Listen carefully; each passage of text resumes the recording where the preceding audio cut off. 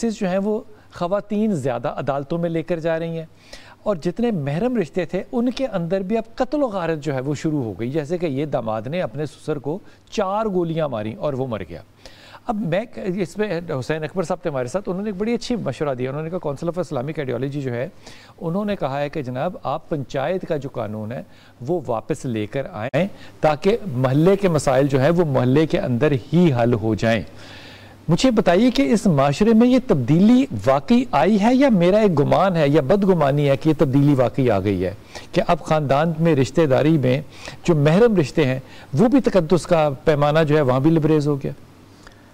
यकीनन जब से ये सोशल मीडिया अच्छा ये कसूर सोशल मीडिया का सोशल मीडिया आया तो ये बातें बहुत ज़्यादा मंजर आम पर आने लग गई। नंबर दो हाँ। आज से वाकई तीस साल पहले ऐसा? इस हद तक नहीं थी लेकिन सोशल मीडिया तो कसूरवार ना, ना हुआ। सोशल मीडिया नहीं मैंने दूसरी ये कि तीस साल पहले जो ज़िंदगी थी तीस साल चालीस साल पहले ज़िंदगी बड़ी सादा होती थी उसमें ज़्यादा तकल्लुफ़ात नहीं होती थी दूसरे को एक दूसरे को देखना नहीं होता था स्टेटस एक दूसरे के बराबर होते थे। अब जब मादा परस्ती आई और लाइफ का लिविंग स्टैंडर्ड चेंज हुआ तो बहुत सारे मसाइल हमारे इससे पैदा हुए। अब करना क्या है? आप लिविंग स्टैंडर्ड अगर मेरी सहूलत हो गई पहले मैं सौ रुपया कमाता था मैं हज़ार रुपया कमाने लग गया हूँ तो इसका मतलब है कि मेरे ख़ानदानी निज़ाम ख़त्म हो जाए मुझे पता है ना कि आप सौ रुपया कैसे कमा रहे हैं आप। ये भी तो पता है ना। उससे फिर मुझे ये भी पता है कि हज़ार रुपया कैसे कैसे कमाया जाता है। कह रहे हैं। तो जब हज़ार रुपया मैं देख रहा हूँ कि मेरे दाएँ बाएँ लोग और औरतें देखती हैं बच्चे देखते हैं कमा रहे हैं। और वो बिल्कुल ही नजायज़ तरीके से और रिश्वत को तो आज रिश्वत समझा ही नहीं जाता कमीशन है रिश्वत को तो आपने उसको गिफ्ट करार दे दिया तो नतीजा ये हुआ कि जब इस किस्म के मामला बढ़े हाँ। यानी जिन्हें आप अखलाकी जराइम हाँ। कह लें माली जराइम कह लें गुनाह में ये करप्शन बढ़ी नतीजा क्या हुआ कि जब एक तरफ़ स्टैंडर्ड लाइफ बहुत बेहतर होता है दूसरी तरफ़ कम होता है तो वो फिर ईमानदारी को भी बीवियाँ बैठ के कोसती हैं। कि तुम्हारी ईमानदारी से हमें क्या मैंने मतलब इससे को रोटी बनती है तुम्हारी ईमानदारी से? हमें बच्चों की तालीम पूरी नहीं हो रही। नहीं नतीजा आप बड़े अच्छा प्रोग्राम करते हैं। नतीजा इसका ये है कि हमें इस मुल्क में जो वायलेंस है का लॉ की उसको रोकना है। अगर कोई रिश्वत लेता है उसको पकड़िए। अगर कोई कत्ल करता है उसको पकड़ें अगर कोई घर में बच्चों को मारता है बीबी को मारता है उसका एहतसाब होना चाहिए। ये सारी चीज़ें घूम फिर के लेकिन जहाँ इस बात की तरफ़ पे पकड़े जाने वाला रिश्वत दे के छूट जाता है ना? यही तो मसला पकड़े जब आप रिश्वत ये हमारे इस वक्त अगर आप देखा जाए तो हमारे जो सारे महकमे हैं वो इस वक्त एक नाकामी की तरफ़ और बहरान की तरफ़ जा रहे हैं। फ़र्द भी। अफराद अदारे नहीं फ़र्द भी नाकामी की तरफ़ अफराद इदारे में बैठते हैं ना। ठीक। तो इदारे तबाही की तरफ़ जा, जा चुके हैं उनमें कुछ नहीं है। सोचने की बात यह है कि ठीक है कुरान पाक में अल्लाह ताला ने फरमाया कि वजलमहमल किताब वमत वज़क्की हम इनको तालीम भी दो इनका तस्किया भी करो। उसके साथ साथ कुरान पाक में अल्लाह ताला ने यह भी तो फरमाया मेरा आका सल्लल्लाहु अलैहि वसल्लम जैसी पुरतासीर ज़ुबान किसी की नहीं थी पुरतासीर अंदाज तबलीग किसी का नहीं था सब कुछ मेरा आका वसल्लम में मौजूद था लेकिन इसके बावजूद रियासत में कवानीन और जुर्म की सज़ा वो मौजूद थी। और ये मैं पढ़ रहा था कि फ़तेह मक्का के मौके पर उस फातमा बिनत असद ने चोरी की थी। सैयद आयशत सदीक़ा उसके राविया हैं।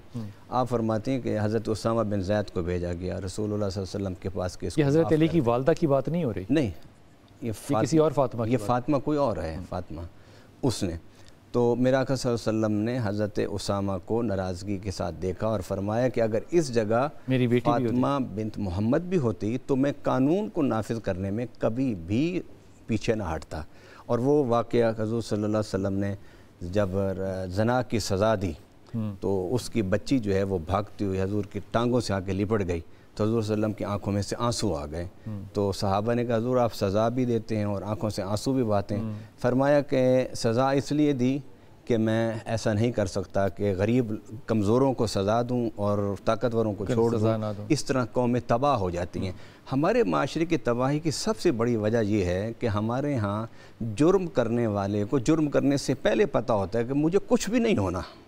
और मैंने मैंने बचने का साफ़ बच जाना है मैंने बिल्कुल बच जाना है क्योंकि मैं थाने ख़रीद लूँगा मैं इन्वेस्टिगेशन इदारों को दे दूँगा मैं जजों को ख़रीद लूँगा मैं वकीलों को बड़ी फ़ीस दे जजों को ना डालें बीच में पकड़ा जाती है। आप कहें चले करप्शन होती है तो इंसान कर ले चले ऐसे कह लें लेकिन ये क्योंकि आम अब आप सर आम बात हो रही तो मेरे मैंने कह दी मतलब एक कि वकील बड़ा कर लूँगा और मैं अपने हक में फ़ैसले करा लूँगा। दर हकीकत यानी कि हमें बचने के जो रास्ते और दरवाजे हैं वो पहले से इल्म है। पहले सेल में। हाँ। अब प्री मेडिटेटेड क्राइम अब इसमें आप देखिए ना कि अब अच्छा ये तो हो गई कुरान और हदीस की बातें हम बहुत बयान करते हैं। इस वक्त जिन ममालिक में जुर्म बहुत कम है जी। उसमें भी यही कुछ है ना कि वहाँ भी जो जुर्म करता है वो उसकी सज़ा से नहीं बचता। बड़े बड़े वहाँ जुर्म कम क्यों होता है? इसलिए कि सज़ा है ना वहाँ पर। नहीं सर। हमारे सज़ा की बात नहीं है। वहाँ पे सोशल सिक्योरिटी है। हर किसी को पता है कि मैंने भूखा नहीं मरना। स्टेटस वहाँ पे प्रॉब्लम नहीं है। ये एक करप्शन वहाँ पे प्रॉब्लम ये एक, सजाएँ अपनी जगह है। ये एक मौजू है। लेकिन लोगों की जो तसल्ली और तस्कीन है वो माशरती है। बिल्कुल ठीक है। वहाँ पे यूँ लगता है जैसे इस्लाम नाफिज हुआ हुआ इसकी मिसाल इस तरह दे सकता हूँ। हज़रत उमर फारूक रज़ी अल्लाह ताला ने हाथ काटने के साथ मौकू फरमा दी थी। तो साहबा ने कहा कि ये तो हदूदुल्लाह में से है। फरमाया जब तक ये जो पूरी करो। फाका ख़त्म नहीं होगा चोरी का सबब नहीं ख़त्म होगा उस वक्त तक मैं चोर को सज़ा नहीं दूँगा। कि कोई बाप या कोई माँ अपने बच्चे को तड़पता हुआ भूख और प्यास में किसी के घर से कोई खाने पीने की चीज़ चोरी कर तो तो क्या उम्र उसको सज़ा दे? अब मैं उम्र कहाँ से लाऊं? ये ये वही बात है। इस माशरे में कहाँ से लाऊं? मैं एक अपने साथी हमारे वो किसी बाहर मुल्क रहते थे उनको पाँच लाख यूरो जुर्माना हुआ। हम्म। वो क्या था कि वो बैक साइड पर कुछ बच्चों को ये रखा हुआ था जो वो काम करते थे। हम्म। तो वो जो बच्चों को काम इलीगली रखा हुआ था। रखा हुआ था। जो पढ़ने की उम्र है बच्चों की उसमें आप काम करा रहे लेबर ले रहे हैं काम ले रहे हैं। तो इस पर जब वो पकड़े गए तो पाँच लाख। नतीजा क्या हुआ कि उन्होंने तीस पैंतीस लाख में जो कुछ कमाया था हम्म। वो सारा का सारा जुर्माने में चला गया। हम्म। और दूसरों को भी इससे सबक होती है। हमारे यहाँ मसला ये है कि हमारे यहाँ जो वाज नसीहत वाले इदारे हैं वो भी कमज़ोर हैं जो हमारा मीडिया है वो भी असलाह और अखलाक की तमीर करने की बजाय अखलाक को तकरीब की तरफ़ लेके जा रहा है अच्छा। और हमारे जो इदारे हैं मतलब है कि जिन्होंने जुर्म की सज़ा देनी है हम्म। वो इदारे भी अपने पाँव पर मजबूती से खड़े नहीं। हम्म। इसलिए कि उनके अंदर खुद जो है वो जराइम शरायत कर चुके हैं। ठीक है। अब अगर आप मुजरमों को इसी तरह खुला छोड़ देंगे फिरने के लिए तो कभी भी माशरे से ही आप वायलेंस ख़त्म नहीं कर सही बात